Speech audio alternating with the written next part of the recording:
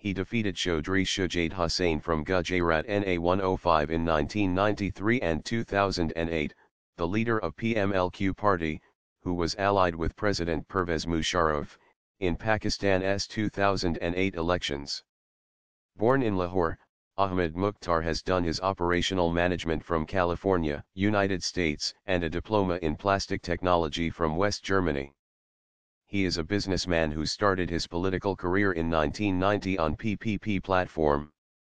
His brother Ahmed Saeed served as PIA Managing Director, from April 2001, and PIA Chairman, from April 2003, both until April 2005, during the General Pervez Musharraf era he was considered the most likely candidate to be the next Prime Minister of Pakistan, along with Amin Fahim, Yusuf Raza Gilani and Shah Mahmood Qureshi, but was later denied, when Yusuf Raza Gilani was announced as the new PM on March 22, 2008.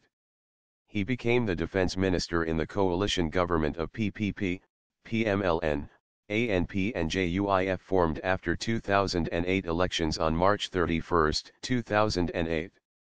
He is also the brother-in-law of former Pakistan Cricket Board, PCB, Chairman, Ijaz Butt.